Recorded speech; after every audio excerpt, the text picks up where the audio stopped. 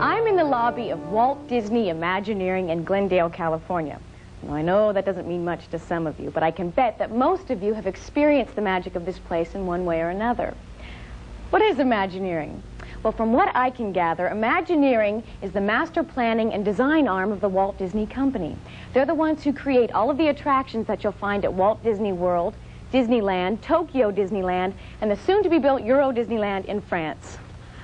Well, that's about all I know about this place. But they tell me if I push this button right over here, I'll get a better idea. Walt Disney Imagineering is the coming together of creative ideas and the technology to crystallize them into reality. Engineers, architects, artists, and designers all work together using the tools of imagination to create the Disney-themed experience. Walt Disney set up Imagineering in 1952 to design a revolutionary concept in outdoor entertainment. Disneyland. Walt brought in art directors and designers from his studios to create the world's first theme park. It is here the world-famous attractions such as It's a Small World and the Pirates of the Caribbean nestle into various themed lands. Today, Disney Imagineers continue to pioneer unique and exciting entertainment experiences throughout the world.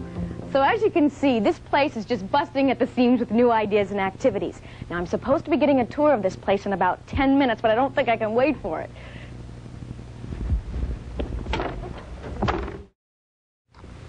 Hi, I'm Craig Wilson, Walt Disney Imagineering. Don't do that. I'm Marty MacPhail with the Disney Channel. I think you were supposed to give me a tour of this place. Yeah, well, I probably missed you in the lobby. Oh, yeah. You must have missed me in the lobby. Ready for your tour, Marty? Let's go. Well, let's go. What is this room here? Marty, this is one of our two sculpture studios. All of our characters in our theme shows begin here, whether it's a, a human form from the Hall of the Presidents, a pirate, or an animal, or one of our animated characters. And if you look around the room, you might recognize some familiar characters from some of our animated shows.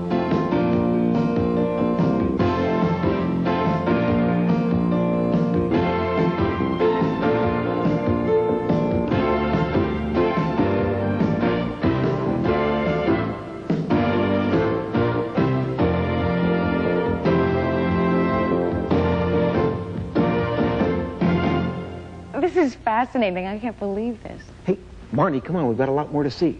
Okay. Let's go. Excuse us, Mr. President.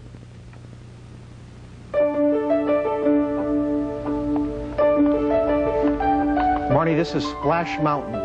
Yeah. We're building this right now at Disneyland. When it opens, it'll be the largest log flume ride in the world. The largest? Mm-hmm. Well, how big is it going to be? Well, it's about a 10-minute ride. There's 103 animated characters. It's all based on the Song of the South characters, Brer Bear, Brer Rabbit, Right. Uncle Remus, and all that. And so this is a whole musical adventure. This last drop here is almost six stories high that you'll drop down. And then when, when finished, this will be the fastest ride in the park. How fast? We don't know yet. Maybe 40 miles an hour? 40 miles an But, hour? but don't quote me. No, no. No. Okay, I won't. This is the Walt Disney World Shopping Village in Florida. And right next to it here on this island, we found an old manufacturing district that used to make giant sails for sailing ships. Right. And we're turning all those buildings into Pleasure Island. There'll be six nightclubs, several new restaurants, and a whole bunch of shops. It's mostly a nighttime activity with entertainment, a comedy warehouse, an adventures club, a roller rink, a big dance theater, all kinds of things for people to do at night. And that's in Florida. It's in Florida at the shopping village at Disney World. That sounds incredible. That's fun. That opens next summer. Marty, behind here we've got our Disney MGM studios that we're building down in Florida, but I can't show it to you right now. We're still kind of uh, developing it, and you'll understand. Come on, let's go over here.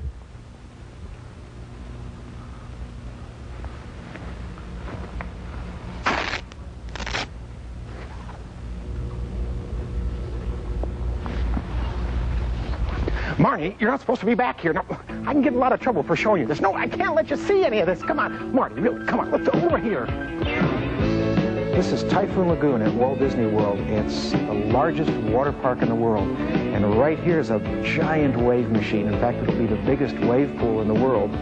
There's slides and lazy river, and there's an actual saltwater coral lagoon that you can swim through. There'll be fish and live sharks that you can swim around with. That's amazing. The whole idea was that this giant typhoon ripped through central Florida and Left and left this big wave pool and uncovered this uh, spring from far away that creates these waves and all this water gushing from this big mountain And that's in Florida as well. down in Disney World.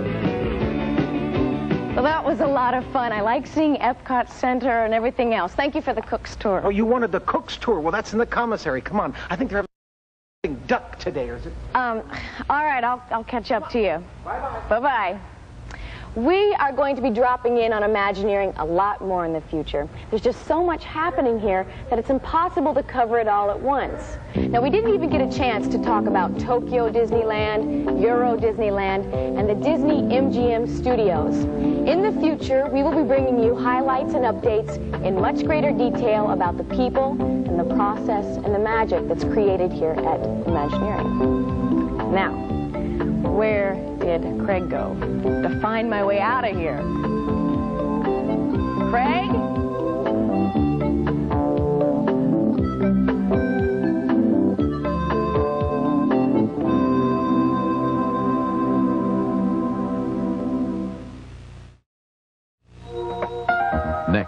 Thrill to the escapades of that masked doer of good deeds, Zorro, followed by the missing adventures of Ozzie and Harriet. Then, after a crippling auto accident, Judd Hirsch must teach a young woman how to live again in first steps. It's all coming up tonight on the Disney Channel.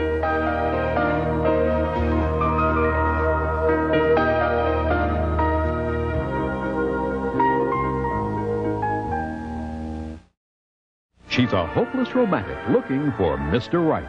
Just got to go. Just got. But the only guys she seems to meet are always Mr. Wrong. What do you think this is, a picnic? Now everyone's praying for a miracle. Any luck? There's not a soldier in sight. Until now, It's a miracle. A dog-blasted genuine miracle. guess who's coming to dinner? We found one! John Hodiak and Ann Baxter star in an old-fashioned boy meets girl love story. A Sunday dinner for a soldier.